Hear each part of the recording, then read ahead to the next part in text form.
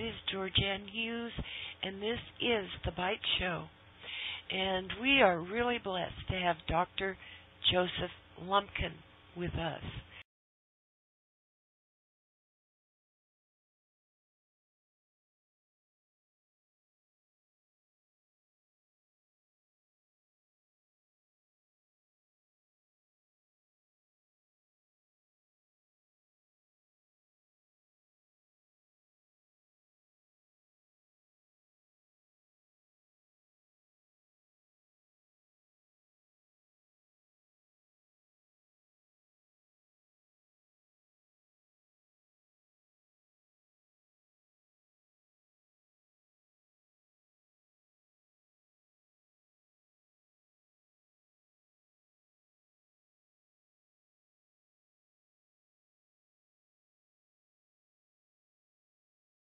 we have forever uh, in Christianity, as long as Christianity has been uh, here, we, we have waited for the return of Jesus.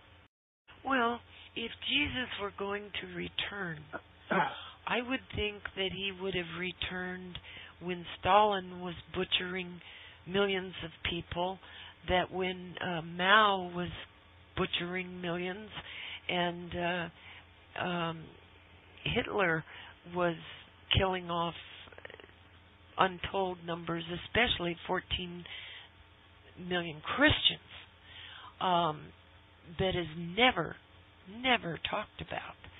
It's always the Jews. Uh, well, I got news for everybody. There were a lot of Christians that were snuffed. Um, why wouldn't he have returned during one of these calamitous um, things that have gone on? Because I think we have the story of the resurrection incorrect. Yes. I believe it with my whole heart that Jesus is resurrected within us. Yes. That the entire story is built around the fact of of, of finding the Christ in us and and finding that seed of God and resurrecting Christ in us. And that in itself is the story of Christianity. That's what he came to uh, to provide us with a path toward the resurrection of Jesus. When when he said to us, "Greater things than I do will you do," mm-hmm. he said everything he needed to say it, and basically that was saying, I am not God, because yeah. if I were God, you couldn't do better than I. Yeah. But I provide you a path to your godhood inside you, and when you find it, greater things than I have done will you do. You will be like me. Mm-hmm. The Bible also says that when we see Him, we will see that we are like Him. Mm. That is to say, when we are together again, we will see that we are like Him. The Christ Spirit is within us, and every single Easter, I I go around basically in a uh, in just wonderment of the fact that this point is missed. It's it's been hidden from us. We we are led to believe that we can do no better than what we're doing when yeah. He came and and and suffered for simply that message. Yes. But that message, and I hate to go on like a preacher, but I'll just end like this. That message flew in the face of the established hierarchy of that of the religion of the day. Yeah. Because if we are Christ's each individual one, then we don't need a rabbi or a priest or a preacher. That's we right. are self-contained. That's right, and we don't need a temple uh, to go to, and we don't need to sacrifice a perfect heifer on some damned altar. Um, God, it's so backwards, Joseph. It's just it's shameful. You will be like me. Mm-hmm the Bible also says that when we see him, we will see that we are like him. Mm. That is to say, when we are together again, we will see that we are like him.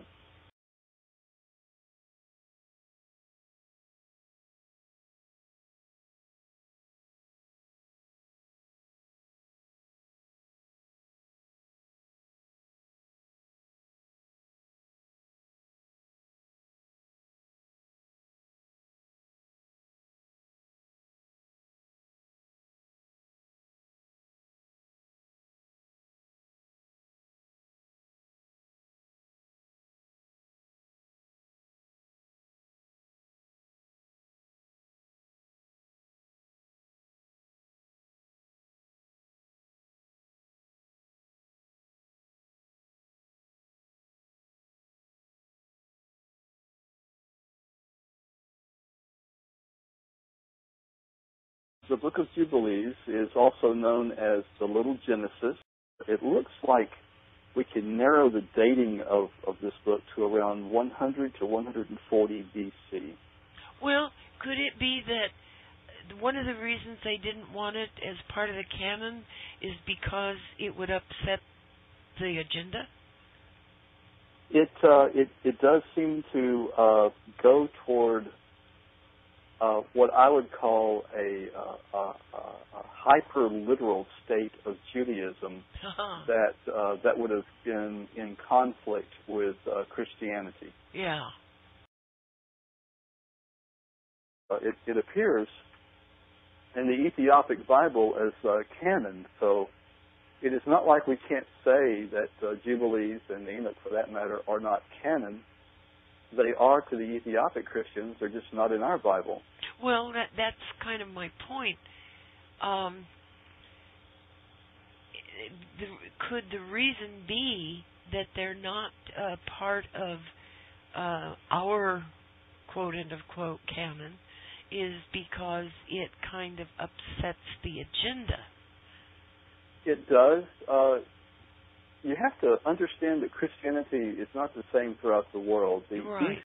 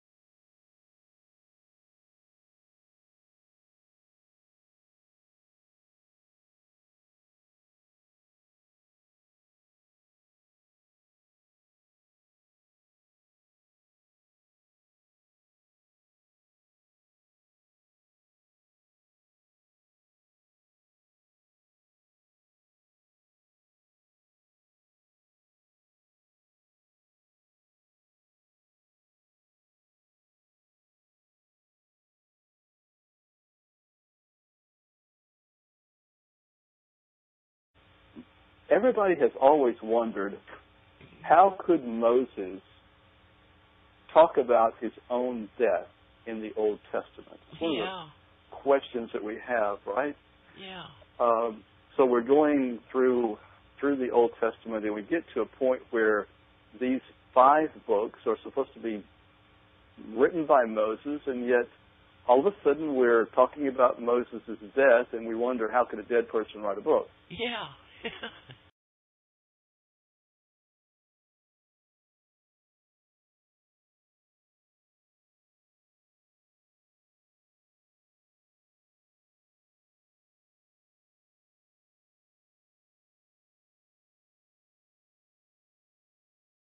Well, who did Cain marry?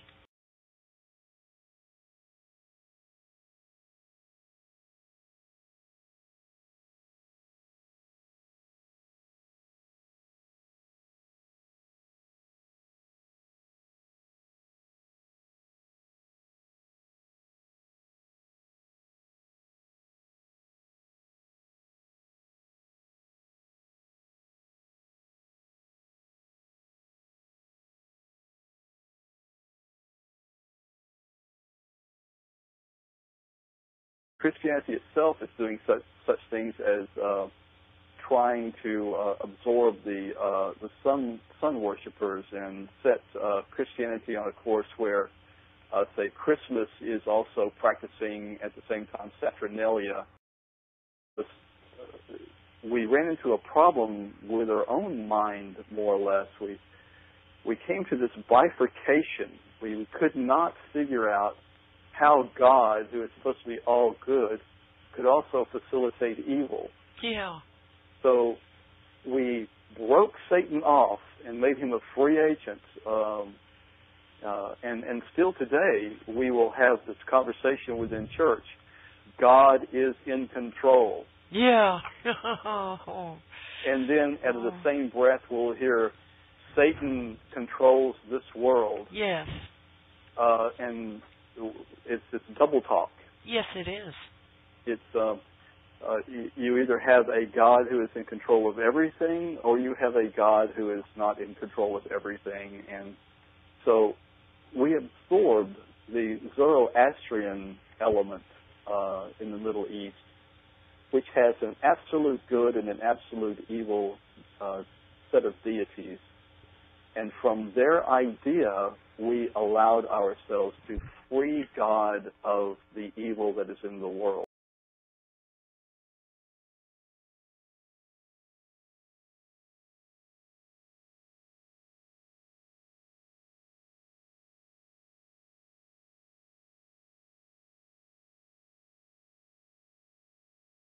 Uh, the devil is not in the detail. It's in each and every one of us and probably in our pants.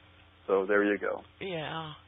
Well, um, this business of God creates good and He creates evil. He's at loggerheads with himself. He is.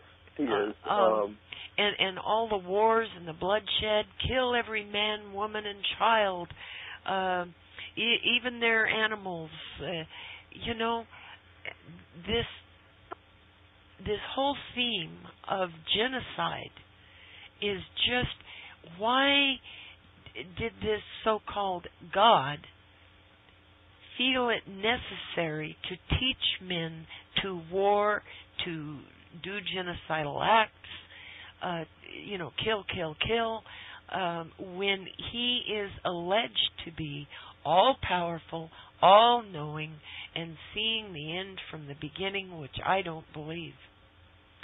Um, and, and, let's don't forget that in the New Testament way of thinking, He is also all good and all kind and all love. Yeah. So. So why indeed? Well, what we see that has not been explained very well is an evolution of God. We we haven't done a very good job at uh, uh, at meshing the origins of our own God. Mm-hmm. El was a Canaanite god. He was a war god. He was the Old Testament god. Yeah.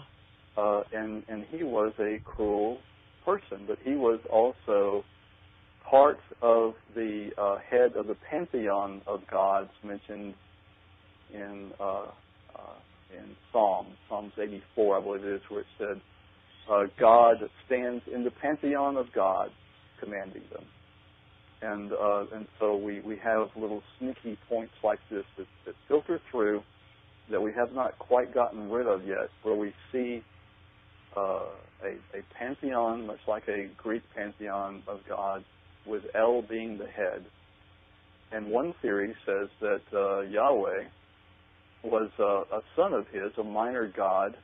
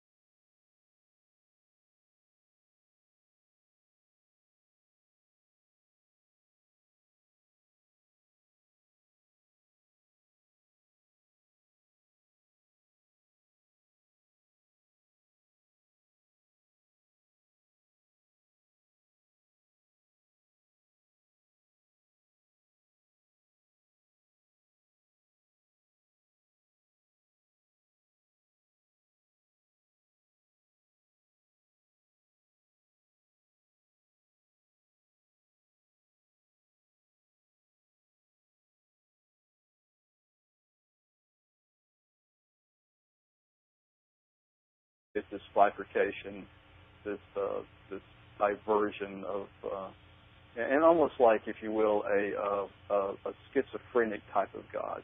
Mhm. And and that's part of our problem is that we came. Uh, the foundational idea of God of El came from a warlike uh, Canaanite nation, and we have built off of that. Oh Uh, yeah. Our religion keeps crashing because we do not have a, a, good understanding of its foundation. Well, you can certainly say that again. My goodness.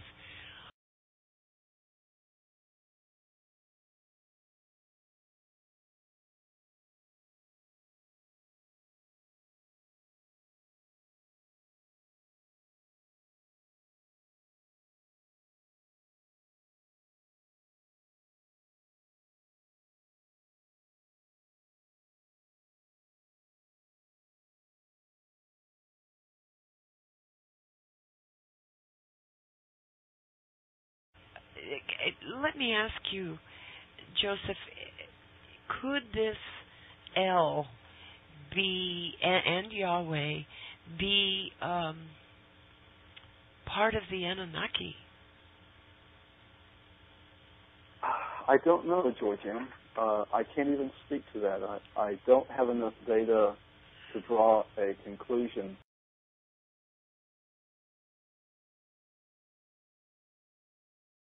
Here's the other thing that's just quite odd. To to make a human, we only need about 10% of the DNA that we are carrying. Yeah. The rest of the DNA carried in every cell of our body remains dormant. Huh. There's several theories behind this. Uh, one is that uh, these this dormant DNA is actually uh, part of our ancestry. In other words, if you if you look at a fetus in different stages, it'll have a tail. Yes. Uh, it will appear to have flippers or fins or you know uh, gills or there. We go through these different different shifts and changes, almost like we are evolving within the womb to get to a human uh, uh, child.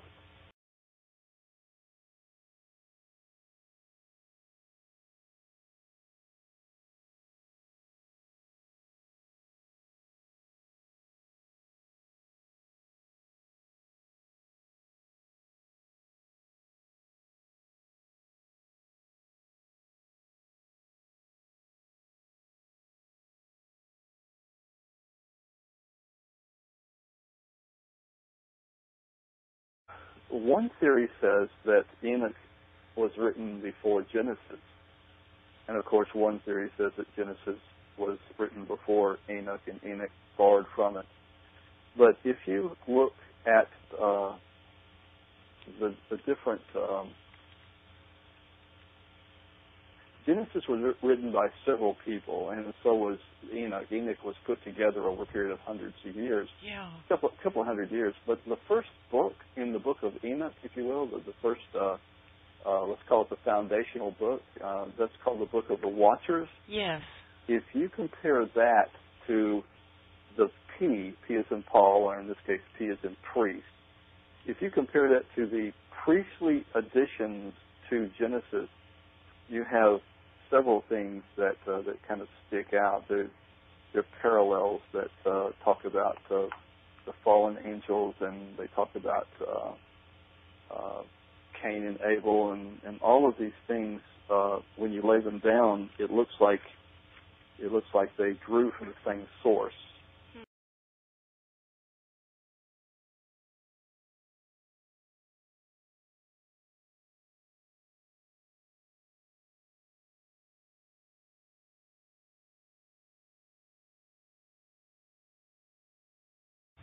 It looks to us like Enoch was written, you know, around 200 BC, but it was considered to be a holy book because we know that uh, uh, Jude quoted it for an entire paragraph.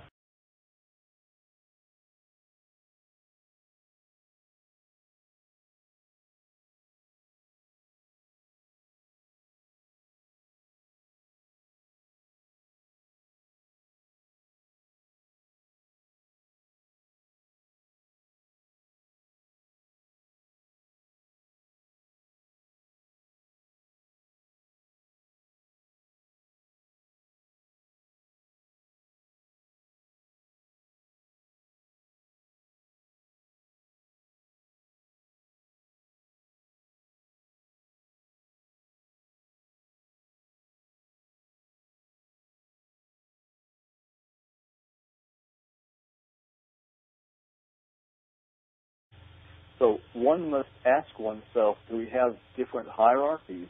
Because in the very beginning of the whole thing, you had one third of the angels rebelling and going with Lucifer. Yes.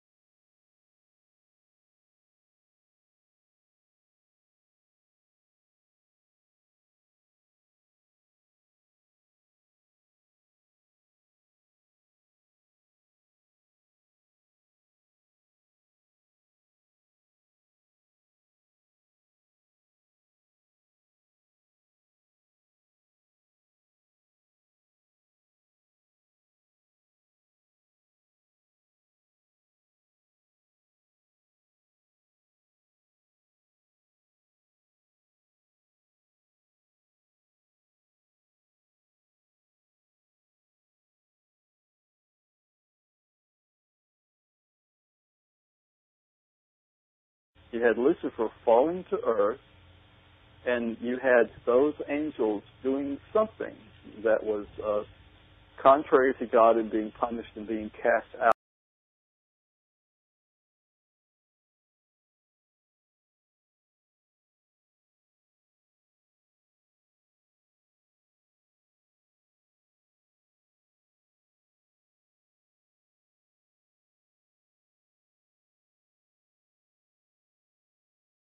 So now they are out of the uh, uh, they are out of the heavenlies. They are someplace else. So you well, have that fall. Joseph, could that be related to in Genesis 1 where they say, let us create, let, let us. Um, that's a very troublesome word.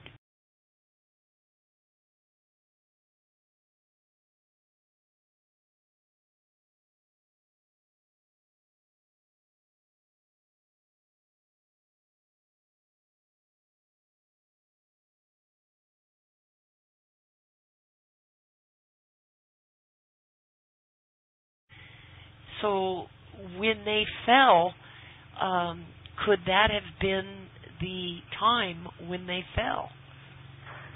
Yes, because there is another troublesome word in that same chapter that says uh, that men should replenish the earth, and it must be plenished another time to be replenished. Yes.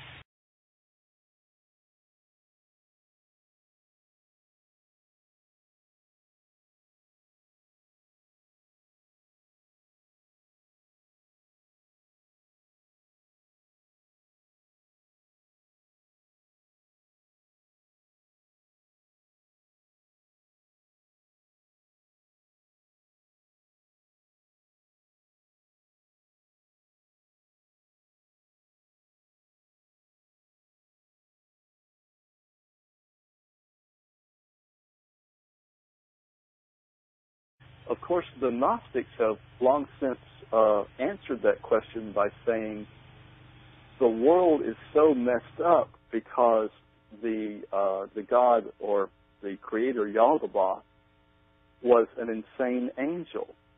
Yeah.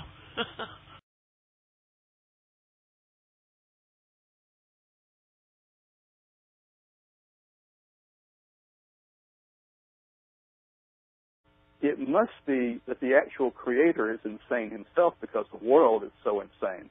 Yeah. Well, if you extrapolate that, you have the possibility that uh, the creator of this world, according to uh, their way of looking at it, was uh, uh maybe one of these fallen angels. I don't have any trouble in cross pollinating those two ideas to get the fact that uh, a fallen angel may have been uh, over some distortion that we have now on, on in this world. Hmm.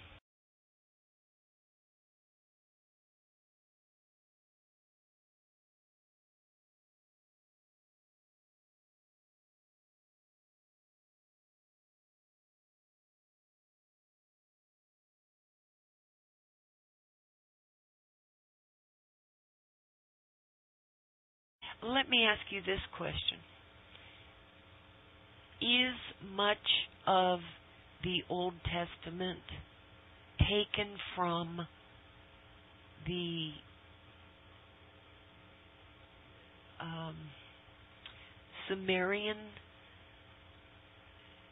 religions? Uh, that is where this, I keep using the word cross pollination because I can't think of any other way to describe it. Okay. Uh, if if you take uh, what we have written down and believe as, for example, Noah and his ark, yeah. and you trace that back to the uh, Gilgamesh uh, ethics and different things, you really have uh, some some major borrowing going on. Yeah. You know, God is the skin color of whoever is talking to him. Yeah. And uh, he has the same habits and the same likes and dislikes as uh, as the people who are praying to him. Yes.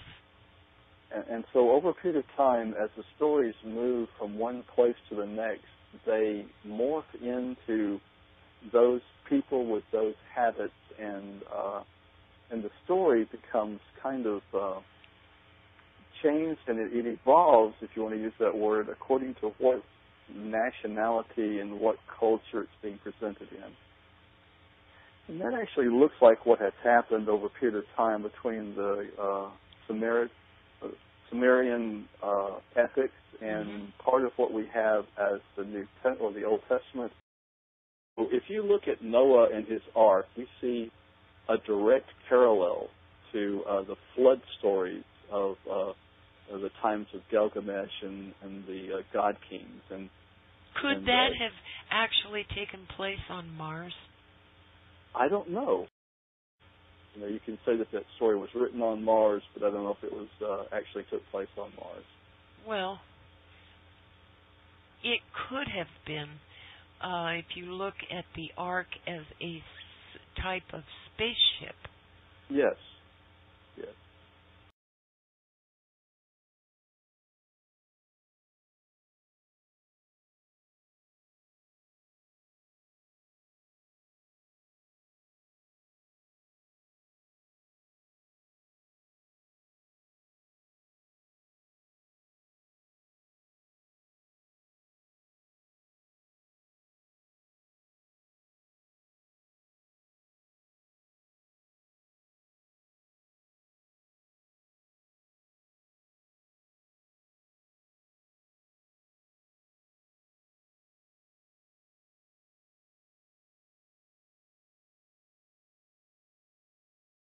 Used to just love Gene Scott.